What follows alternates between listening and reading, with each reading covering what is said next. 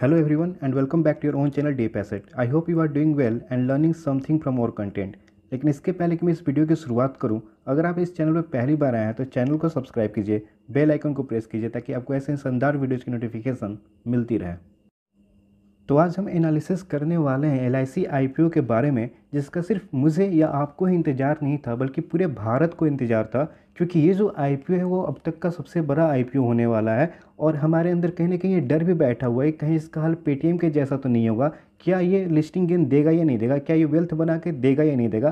तो ऐसे ही सवालों का आंसर आज हम जानने की कोशिश करेंगे कि आपको क्या इस आईपीओ में अप्लाई करना चाहिए या इसको आपको अवॉइड करना चाहिए। क्योंकि जब तक हम इसके डिटेल्स जानकारी नहीं ले लेते, हम डिसीज़न नहीं ले सकते कि हमें इसमें अप्लाई करना चाहिए या अवॉइड करना चाहिए। तो पूरी तरीके से वीडियो में बने रहिएगा। आपको वीडियो के अंत में पूरा क्लियर हो जाएगा कि मुझे इस आईपीओ में पैसे लगाने हैं या नहीं लगाने हैं। आईपीओ की एनालिसिस की शुरुआत करते हैं। सबसे पहले हम देख लेते हैं इंपॉर्टेंट डेट क्या है। तो एलआईसी का जो आईपीओ है वो मई चार को ओपन होने वाला है और उसके बाद ये आपका क्लोज डेट होगा मई उन्नीस को। तो आप चार मई से लेकर नौ मई तक आप इसमें अप्लाई कर सकते हैं। अलॉटमेंट डेट है इसका थर्टीन मई को और लिस्टिंग डेट होगा इसको सत्रह मई को। इसका जो फेस वैल्यू है वो टेन पर इक्विटी शेयर है और इसका जो इशू प्राइस होने वाला है वो 902 से लेकर नौ सौ उनचास तक होने वाला है। यहाँ पे ध्यान देने वाली बात ये है कि यहाँ पे पॉलिसी होल्डर डिस्काउंट जो है, जिन्होंने LIC की कोई ना कोई पॉलिसी ले रखी होगी, और मुझे लगता है कि भारत के हर एक घर में, हर एक घर में नहीं तो मैक्सिमम घरों में एलआईसी की पॉलिसी होगी ही होगी। तो वहाँ पे आपको सिक्सटी रुपीज़ की डिस्काउंट होने वाली है। अगर हम नाइन फोर्टी नाइन जो इसका मैक्सिमम प्राइस है, उसमें से सिक्सटी डिस्काउंट कर लेते हैं तो ये करीब करीब आपका nineteen eight hundred and ninety पे आएगा। और रिटेल के लिए डिस्काउंट फोर्टी फाइव रुपीज़ की होने वाली है। तो जो ये दो चीज़ें आप ध्यान में रखेंगे। अगर आप पॉलिसी होल्डर हैं तो आपको साठ रुपये कम पे मिलने वाला है। अगर आप रिटेल हैं या इसके एम्प्लॉई हैं तो आपको फोर्टी फाइव रुपीज़ पर डिस्काउंट होने वाला है। इसका जो इशू साइज़ है, वो आपका करीब करीब बाईस करोड़ तेरह लाख है के आसपास है, जो कि अब तक का सबसे बड़ा है, जो कि पेटीएम का इशू साइज़ था, वो अठारह लाख के आसपास ही था। और इसकी जो अप्रोक्स इन्होंने जो फंड जुटा रहे हैं ये, और वो है आपका बीस हज़ार पाँच सौ संतावन करोड़ के आसपास। इसका जो आप लॉट लोगे तो पंद्रह शेयर का एक लॉट आएगा, जो कि आपको ये बनाता है चौदह हज़ार दो सौ पैंतीस रुपये। मतलब कि आपको एक लॉट बाय करने के लिए चौदह हज़ार दो सौ पैंतीस रुपये खर्च करने होंगे। इसका जो लीड मैनेजर है, जैसे कि हमें कोई मतलब लेना देना नहीं है वह आपका एक्सिस कैपिटल। यहाँ पे बहुत सारे आप इसमें नाम पढ़ सकते हैं। और इसका जो रजिस्ट्रार है, वो है KFin tech private limited right तो अगर आपको आईपीओ इशू होता है तो आप कहाँ पे चेक करोगे? केफिन टेक के प्राइवेट लिमिटेड की साइट पे जाओगे और वहाँ पे आप अपना पैन नंबर डाल के चेक कर सकते हो। यहाँ पे रिटेल पोर्सन की बात करें तो 35 परसेंट है और नंबर ऑफ़ रिटेल एप्लीकेशन है forty six lakhs eleven thousand and nine hundred seventy जो कि बहुत बड़ा है अपने आप में ही। तो मुझे नहीं लगता कि यह फिल पूरा फुलफिल होने वाला है, और हो भी सकता है मे बी बट पहले दिन पर जो आईपीओ फुलफिल हो जाते हैं वो ऐसा नहीं होने वाला है, क्योंकि 46 लैक्स जो नंबर है ना, वो काफ़ी बड़े हैं। अब हम एलआईसी के बारे में थोड़े से बेसिक डिटेल्स जान लेते हैं। हालाँकि मुझे पता है, आप लोग कहोगे कि यार एलआईसी के बारे में किसे पता नहीं है, फिर हम थोड़ा सा बेसिक्स जानेंगे कि ये क्या है। तो LIC जो है, सबको पता है कि एक insurance provider company in India है राइट और it has market share of above sixty six point two percent in new business premium तो इसका जो न्यू बिज़नेस प्रीमियम है, उसमें इसका जो मार्केट शेयर है, वो more than sixty six point two percent छियासठ दशमलव दो परसेंट से भी ज़्यादा है। ये कंपनी जो है वो ऑफ़र करती है, आपको पता है क्या ऑफ़र करती है? जैसे कि इंश्योरेंस हो गया, इंश्योरेंस प्रोडक्ट हो गया, सेविंग इंश्योरेंस प्रोडक्ट्स हो गया, टर्म इंश्योरेंस हो गया, हेल्थ इंश्योरेंस हो गया और पेंशन प्रोडक्ट भी ये ऑफ़र करती है। As of thirteen September two zero two one, तीस सितंबर दो हज़ार इक्कीस के मुताबिक इसका जो एसेट्स अंडर मैनेजमेंट है, जो इसकी, जो ये एसेट्स को मैनेज करता है, वो 39 लाख करोड़ है। तो अपने आप में ही एक बहुत बड़ा नंबर है। एल जो है, वो ऑपरेट करती है दो हज़ार अड़तालीस ब्रांचेस है इसके इंडिया में। 113 डिविजनल ऑफ़िस है और पंद्रह सौ चौवन सेटेलाइट ऑफ़िस हैं। It operates it operates globally in Fiji मतलब कि इनकी जो प्रेजेंस है, वो ग्लोबली है। जैसे कि फिजी हो गया मॉरिशस हो गया Bangladesh Nepal Singapore Sri Lanka UAE Bahrain Qatar Kuwait and United Kingdom मतलब ये इनका जो प्रेजेंस है, वो पूरी तरीके से पूरे वर्ल्ड में है। आप यहाँ पे देख सकते हो। अब हम बात कर लेते हैं कि की पॉजिटिव फैक्टर्स क्या है इस आईपीओ के बारे में।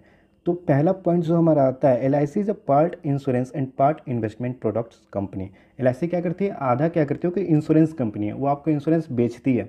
और दूसरा क्या करती है ये सबसे बड़ी इन्वेस्टमेंट कंपनी भी है। The plans are a combination of insurance and investment with guarantee return मतलब ये सिर्फ़ इंश्योरेंस नहीं बेचती है, बल्कि ये अपने जो भी इनके सेवाएँ लेते हैं, उन्हें वो फिक्स रिटर्न वाली स्कीम भी बेचती है और ये स्टॉक मार्केट में भी पैसे इन्वेस्ट करती है। L I C has over thirteen point five lakhs agent जो कि यहाँ पे इनके इंश्योरेंस को बेचते हैं और जो कि एल आई सी प्लान करती है plan offer fix return along with life insurance coverage जो कि इसे अलग बना देता है।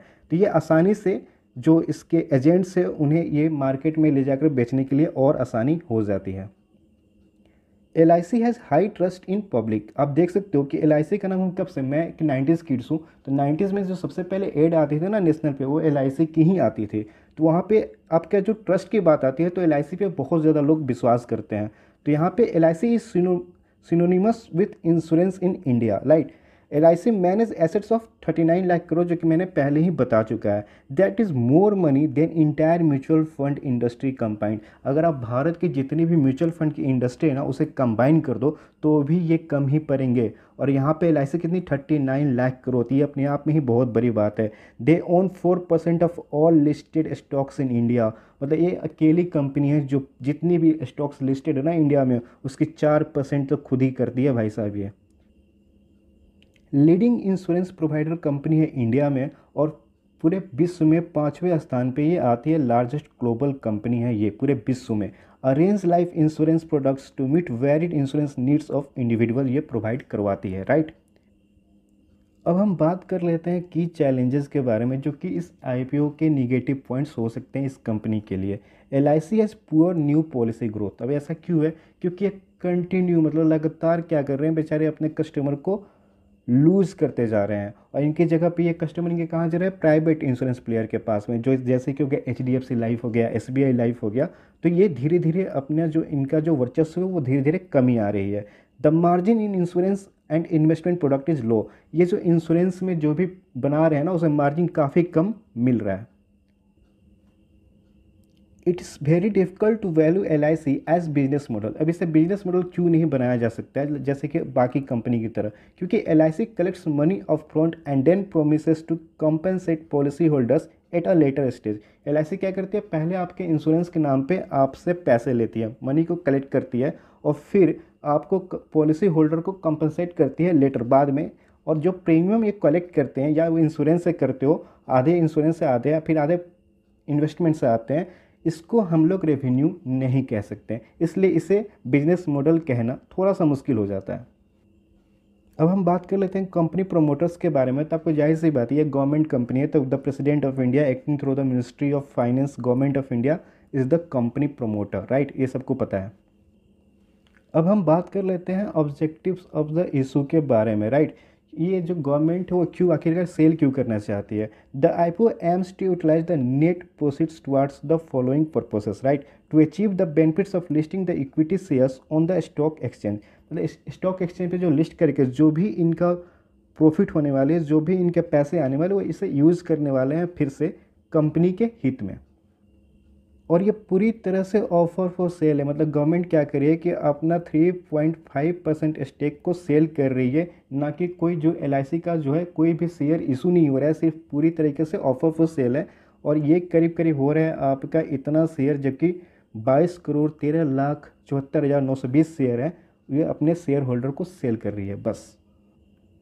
अब हम बात कर लेते हैं कंपनी की फाइनेंशियल्स के बारे में, जो कि किसी भी आईपीओ में पैसे लगाने के पहले सबसे पहले चेक की जानी चाहिए। तो ये जो जितने भी फिगर आपको दिख रहे हैं, करोड़ में दिख रहे हैं राइट तो यहाँ पे आप देख सकते हैं कि 31 मार्च 2019 से लेकर 31 मार्च 2020 तक जो इनका, कंपनी का टोटल एसेट्स था, वो इसमें इंक्रीज़ हुआ है राइट तैंतीस लाख था पहले और यहाँ पे अब चौंतीस लाख हो चुका है। फिर यहाँ पे 20 से 21 के बीच में ये सैंतीस लाख हो चुका है, ये भी इंक्रीज़ है और फिर 2021 में ये 40 लाख के आसपास हो चुका है। तो यहाँ पे कंटिन्यूसली ये ग्राफ जो है वो इंक्रीज़ कर रही है, जबकि आप देख सकते हो कि यहाँ पे उन्नीस से बीच में प्योर एक साल की है, जबकि मार्च 31 मार्च 21 से 30 सितंबर 2022 तक ये सिर्फ़ सिक्स मंथ का ही डेटा हमारे पास फ़िलहाल अवेलेबल है। राइट ऐसे हम टोटल रेवेन्यू की बात करते हैं तो आपको रेवेन्यू में भी आपको ये फिगर जो है इंक्रीज़ होती हुई नज़र आएगी।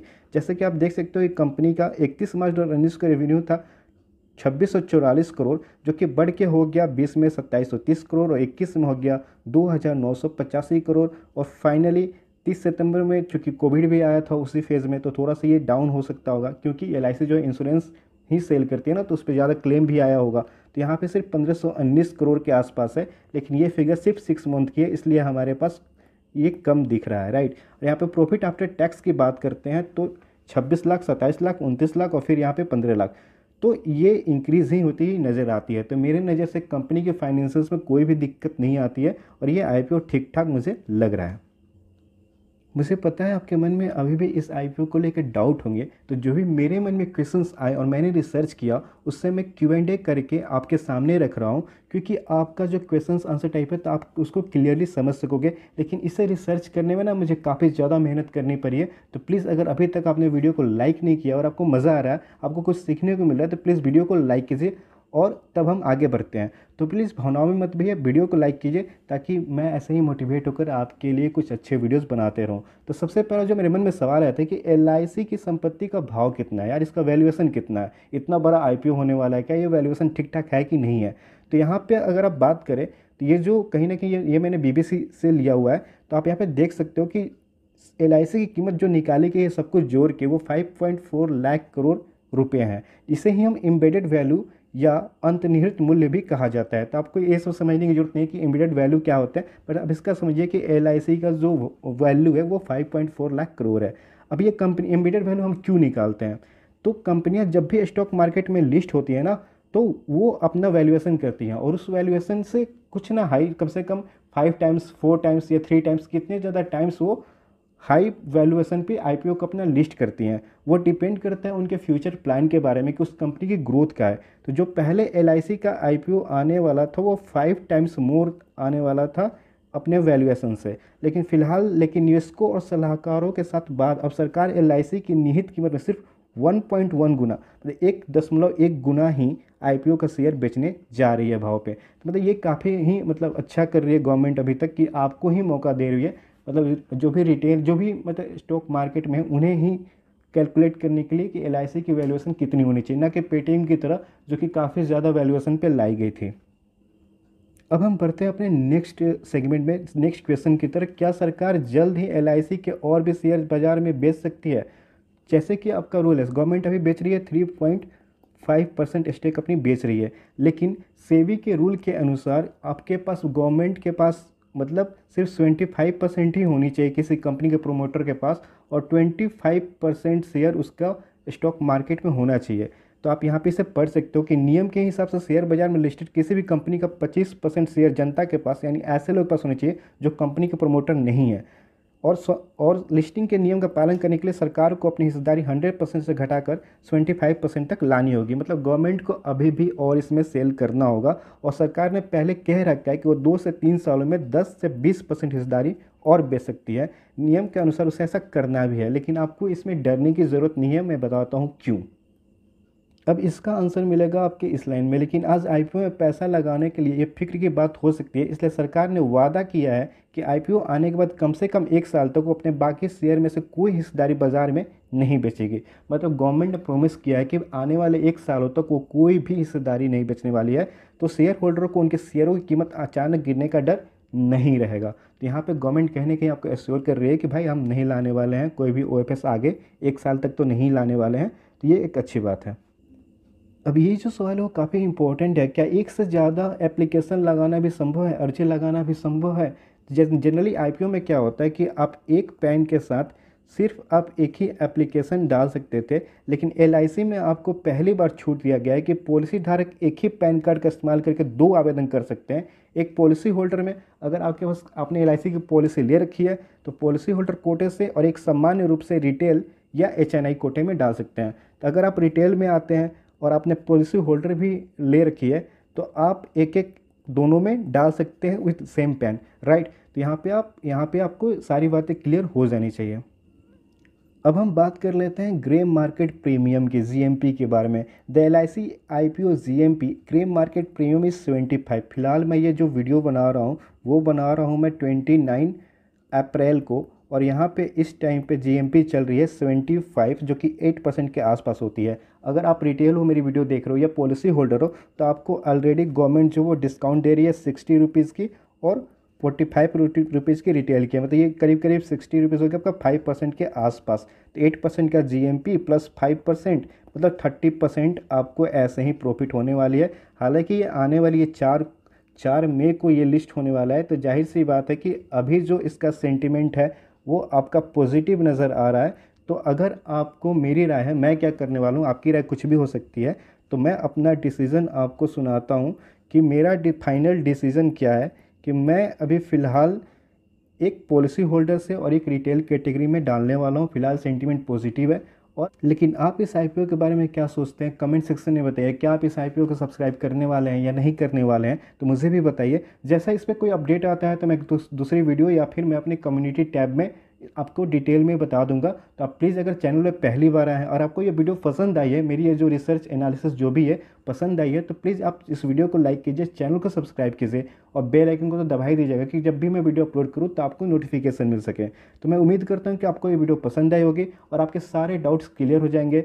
मिलते हैं एक नई वीडियो के साथ। तब तक के लिए tata bye bye thanks for watching